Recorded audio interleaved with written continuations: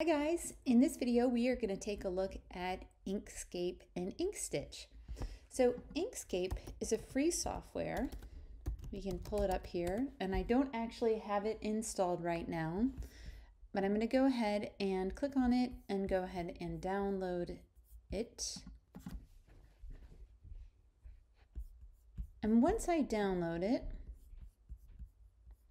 Oh, it's already started downloaded. Then I'm going to double click on the installer file. And I'm using a Mac here, but it works pretty much the same as on, on a PC as well. So I'm going to go ahead and install it now. Once it is done downloading and installing, all we have to do is drag the icon onto our applications folder and Inkscape will be installed. All right, so my software is done copying over and if I want to start it, I'm going to go to my applications and find Inkscape. Inkscape is actually a vector drawing program and it's great because with Inkscape you can do a lot of things that you would normally have to use Adobe Illustrator for. So in o Adobe Illustrator, okay, I'm just going to accept all of the defaults right now and um, just to get it open. So I'm going to do a quick setup. Oh, I already did that. And um, let's just start drawing. I'm going to say, let's do something for print, for example. And they're giving me different paper sizes. All of that is fine. But the reason why you're probably watching this video is because you want to know about Ink/Stitch. So Ink/Stitch is an extension and once we have it installed, it's going to show up under our extensions right there. Well, let's just go back to Google and find Ink/Stitch.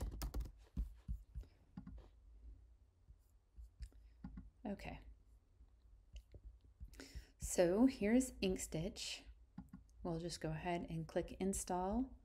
We want to install it on the Mac. So we'll get this version, allow, and we'll let that download. Load.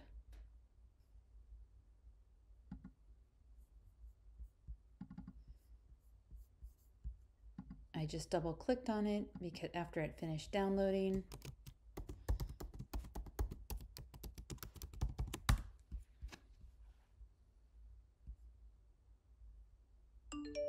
Okay. We don't need the installer anymore. And now all we need to do is we look for it in extensions and it's probably not there. I think we're going to need to quit Inkscape. We don't want to save anything. And then we just want to go back and restart Inkscape and create a new document and once we start it again, if we go under extensions, we will see Ink/Stitch there. And that is how you install Ink/Stitch. It really is a two-step process where you first need to install Inkscape and then you can get the Ink/Stitch extension. So I hope that helps you get Ink/Stitch installed on your computer.